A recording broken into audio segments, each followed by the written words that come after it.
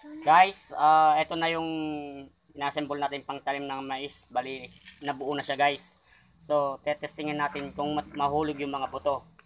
Okay guys. Guys, karga mo na yung buto guys. Pakita mo yung buto guys. Dito natin kakarga yung buto guys. Papasok. Dandan lang guys. Okay na yan guys. Testing lang naman guys eh. Okay. Guys, salin mo yung ilalim guys.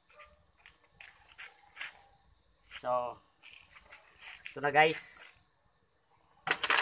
Ayan guys, nahulog yung mais.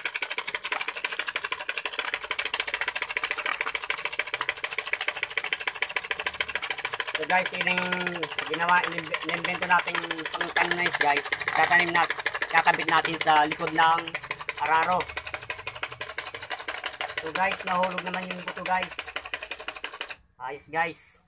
So guys, subscribe nyo yung channel ko. Tapos, i-click na rin yung notification para mapanood nyo kagad kung paano natin gagamitin to.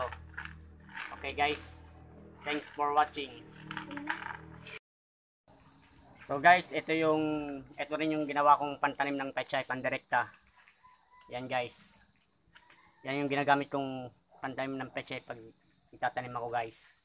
Pandirekta. Yan guys, dito ko yung nilalagay yung battery. Ito yung switch niya. Tapos ito naman guys, yung pang mais natin ngayon.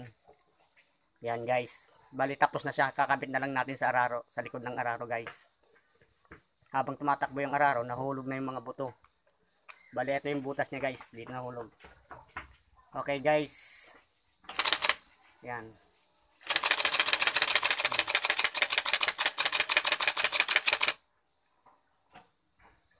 Okay na guys.